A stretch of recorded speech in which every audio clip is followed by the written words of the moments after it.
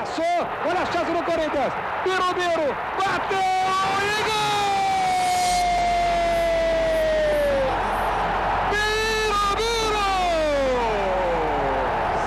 Casa Grande com ele na grande área! Antônio José da Silva Filho, popularmente conhecido como Birubiru, é considerado um dos maiores ídolos na história do Timão. Volante moderno, Biro é o quinto jogador que mais vestiu a camisa alvinegra, com 590 jogos. Além de incansável e de mostrar muita raça dentro dos campos, chegava sempre na área e fazia muitos gols. É o volante que mais fez gols na história, balançando as redes adversárias 75 vezes. Em quase 10 anos de Corinthians, ganhou vários títulos, com destaque para quatro campeonatos paulistas. Em 79, o bi em cima do São Paulo em 82, 83 e 1988. Em homenagem a este ídolo eterno, vamos então relembrar aqui cinco momentos de Birubiru com o manto alvinegro. Pela semifinal do Paulista de 79, vitória de 1 a 0 sobre o arquirrival Palmeiras, com um gol emblemático de Birubiru, de Canela. Romeu bate escanteio venenoso da direita. O goleiro Gilmar consegue tirar. A bola vem para Biro encher o pé. Mas, no meio do caminho, Palinha tenta ajeitar e acaba atrapalhando o tempo de bola de Biro, que pega sem jeito, de canela, para fazer um golaço que ficaria eternizado na memória de nós, corintianos. Gilmar, a torcida gritando. Romeu na bola outra vez, Alho, Bobão se manifestando no Morumbi, Romeu nada fechado, quase gol olímpico, bateu em Biro, tocou pro gol,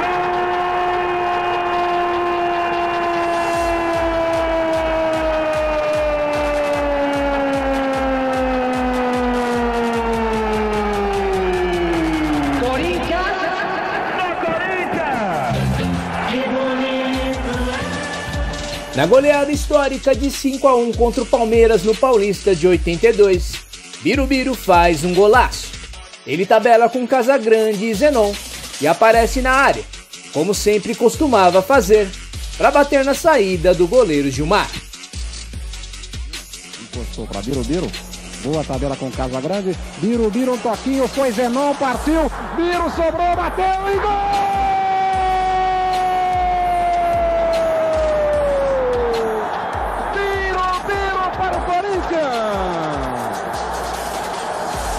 Defesa do Palmeiras parou, esperando a marcação de uma irregularidade. O senhor Ulisses. Na final do Campeonato Paulista de 1982, Timão e São Paulo se enfrentam no Morumbi lotado. O São Paulo tinha craques da seleção, como Valdir Pérez, Oscar e Serginho Chulapa. O Timão tinha Doutor Sócrates e o guerreiro Birubiru, que brilhou e fez dois gols. Vitória por 3 a 1 e mais uma taça para o Parque São Jorge. Olha o Sócrates, que boa penetração, cortando contra Marinho. Agora Marinho ganhou a parada, valeu. Biro, Biro, Sócrates, passou, olha a chance do Corinthians. Biro, Biro, bateu e gol!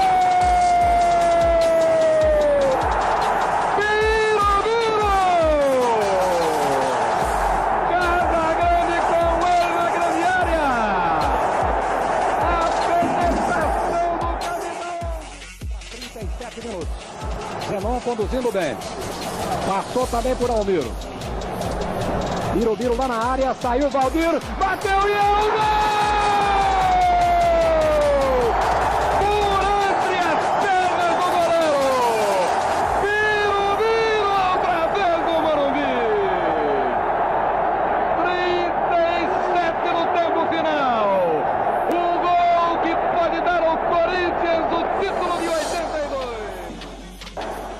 Em 1984, Corinthians e Flamengo fazem um dos confrontos de quartas de final do Campeonato Brasileiro. O Mengo, que na época era o bicampeão nacional e tinha um time de craques como o goleiro Fidjol, Leandro, Júnior e Bebeto, tinha vencido o jogo de ida por 2 a 0 no Rio. O Timão então partiu para reverter o placar no Morumbi lotado, com mais de 100 mil corintianos. E não só o fez, como também deu um show de bola e goleou o rubro-negro por 4 a 1. E quem faz o primeiro para abrir a porteira é Birubiru.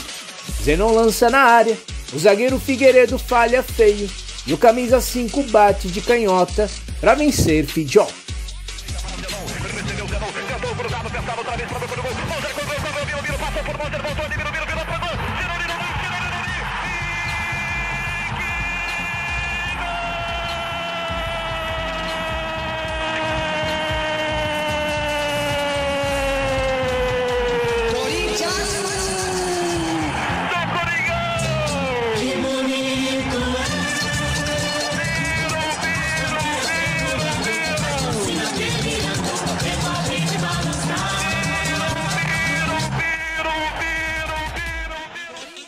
Pelo Paulista de 87, clássico entre São Paulo e Corinthians, no milésimo jogo na história do estádio do Morumbi, lotado com mais de 100 mil pessoas.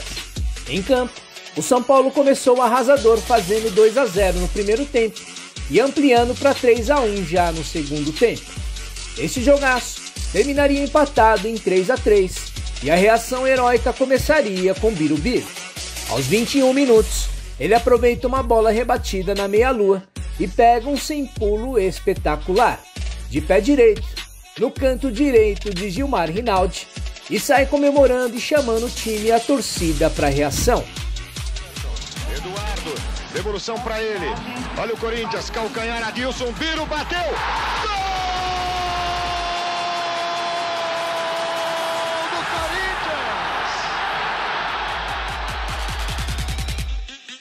Se você ainda não é inscrito no nosso canal, se inscreva, não vai lhe custar nada e assim você pode continuar acompanhando as nossas publicações e participar das nossas promoções.